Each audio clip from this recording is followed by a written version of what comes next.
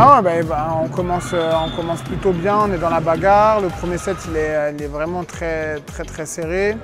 Le deuxième, on lâche un petit peu, trop vite. Euh, et puis euh, le troisième, je fais un changement sur la position de départ. Ça a inversé certaines, certains rapports de force et donc on s'en sort bien par rapport à ça. Et euh, quatrième, on a réussi à rester sur la lancée du troisième. Et puis cinquième, bah, 15-13 au tie-break, ça peut passer d'un côté ou de l'autre. Heureusement pour nous, ça, on- ça passe du bon côté pour nous. I think uh, as a team we played really, really good at a high level, especially the last three sets.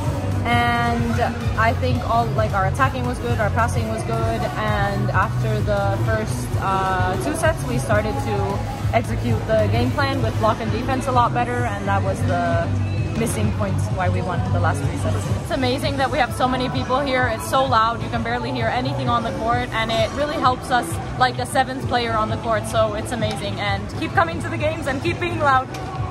Oui, c'était inespéré. Euh, moi, c'est surtout le bilan des cinq premiers matchs où pour moi, on a joué les trois meilleures équipes euh, de, la ligue, c'est-à-dire Le Canet, Nantes et, euh, Mulhouse. Et, euh, on, fait des, belles prestations. Alors, ça paye pas contre Le Canet où on fait 3-1.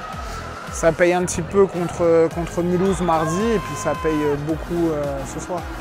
Donc oui, MVP Alba, et ben, c'est mérité parce que c'est un, travail de l'ombre et, et ce soir elle est mise en lumière mais c'est toujours compliqué euh, pour les, libéraux de, s'en sortir mais euh, elle fait le travail. Alors c'est pas exubérant comme, euh, Kendall mais, mais voilà elle fait le travail, elle le fait plutôt bien.